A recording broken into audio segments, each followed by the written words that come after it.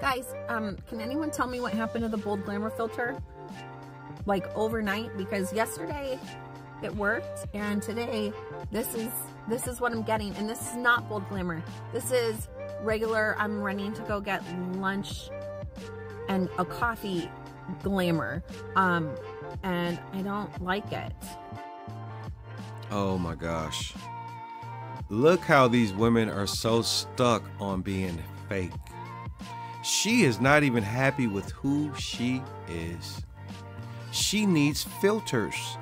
Apparently, TikTok did something to mess up that bold glamour filter, which the majority of these women use, that changes their complete face, puts all the makeup on. Now, you see, she doesn't look like she has makeup on, so she's relying on that bold filter to completely change her face, put makeup on, basically make her appear 10, 15 years younger, and make her look like somebody that's not even herself and she's upset about it.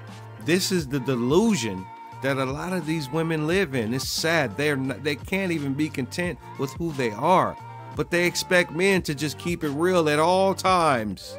Um, if I wanted to look like this in my videos, I would just not use a filter. Um, so whoever messed with it, can you unmess with it? Can you bring it back? And if anyone else is having this problem, also let me know because maybe it's just my phone, maybe it's a glitch, maybe I didn't update and it's being wonky. I don't know, but I don't, I don't, I don't want to look like this. She don't want to look like herself. She doesn't want to look like herself. This is sad. It really is. I'm telling you, social media is the scourge to all women. And and, and if you're not a strong, a, a true strong woman, and you don't have a lot of self-worth, and you're not comfortable being with yourself and who you are at all times, you got some real issues. Because look, if you can't accept you and you can't be happy with who you are and you can't be happy by yourself, how in the hell are you gonna be happy with somebody else? How? It doesn't work. Now, there's nothing wrong with looking natural. There's nothing wrong with being you. But these women, they need filters. So every one of these women that you see in these videos, what you're looking at is not even really them. Even phones, even, okay, let's say you go get a brand new iPhone, you go get a brand new Android or whatever the phone is.